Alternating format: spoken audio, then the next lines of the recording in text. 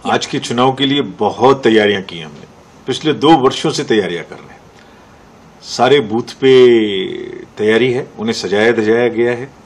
वहाँ सारी सुविधाएँ गर्मी के हिसाब से देखते हुए वोटर्स को मिलेंगी, जिसमें पीने का पानी भी है, शौचालय भी है, शामियाना भी है, पंखा भी है।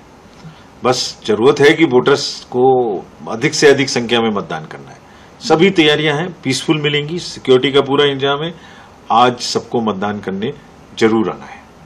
सर जो संवेदनशील इलाके हैं उन उन उन सब के लिए जो है किस तरह की तैयारी की गई है जहाँ जिससे किसी तरह की बाधा वोटिंग में न डाली जा सके? देखिए सुरक्षा की परेशानी को निमटने पहली बात तो सुरक्षा की समस्या कहीं आपको देखने को ही नहीं मिलेगी। इतनी तैयारियाँ हमने की हैं।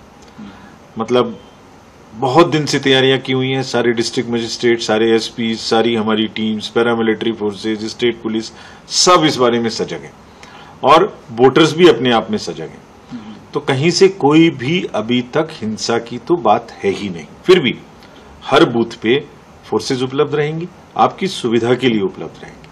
खुल के मतदान करने आए बिना भी किसी चिंता के। बस मतदान के पर्व में भाग ज़रूर लेना है।